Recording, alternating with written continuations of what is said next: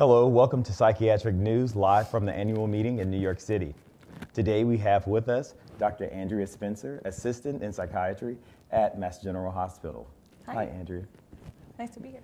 Thank you for joining us today. You're so welcome. So, yesterday, Andrea spoke at the session Advances in Pediatric Bipolar Research, in which you spoke about glutamatergic dysregulation as it relates to pediatric bipolar disorder.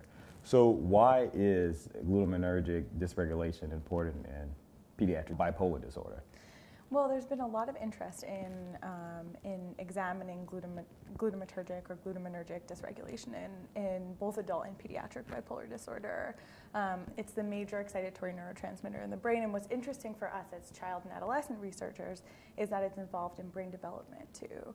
Um, and so, uh, knowing that it's involved in normal, normal brain development, excitatory neurotransmission, and that mood disorders often start in childhood too, um, it's very important that we not only be looking at uh, glutamate as uh, a potential um, uh, neurotransmitter associated with the pathophysiology of adult bipolar disorder, but also pediatric bipolar disorder as well.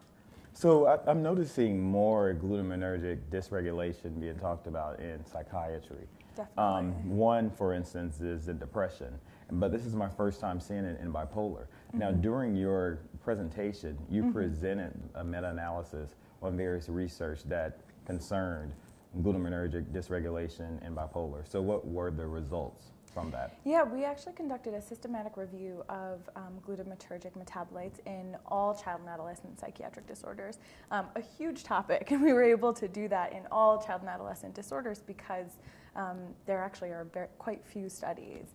Um, but it allowed us to be able to compare our findings between bipolar disorder and depression um, and other uh, child and adolescent psychiatric disorders to see if there were differences.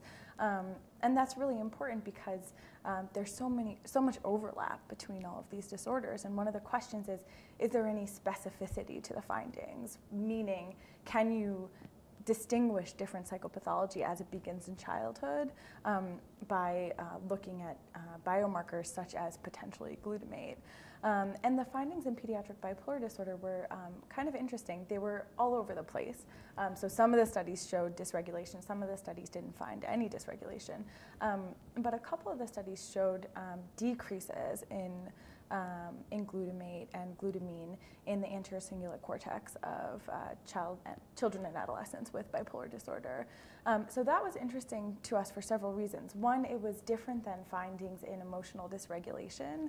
So kids that may not have met uh, criteria for bipolar disorder, but um, who were emotionally dysregulated. And there is one study done by our group that found um, increases in glutamatergic metabolites in the cingulate cortex of those kids. So that difference was interesting. And also, it was different than a meta analysis conducted in adults with bipolar disorder showing, showing increases in glutamatergic metabolites.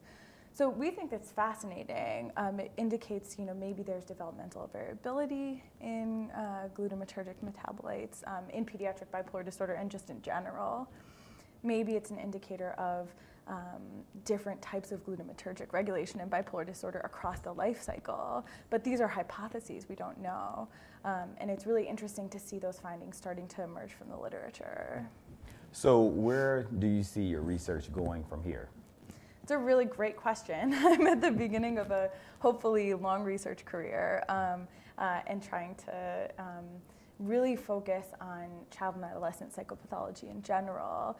Um, uh, our, my actually research interests um, involve uh, emotional dysregulation as well as um, uh, ADHD and post-traumatic stress disorder, and there's lots of overlap among all of those uh, disorders.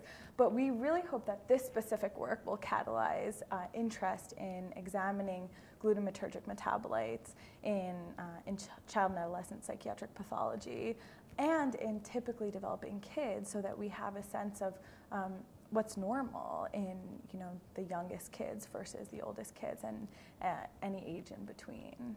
So this is your first year in your position in Mass General, right? Exactly. Well, yeah. I would ju- I would just like to say congratulations. Thank you very much. And I expect to interview you every year at the annual meeting because you have some very interesting research. I thank you so much, pleasure. Dr. Spencer. Thanks I'm so Vabren Watson. We'll have more with Psychiatric News Live from the annual meeting in New York City.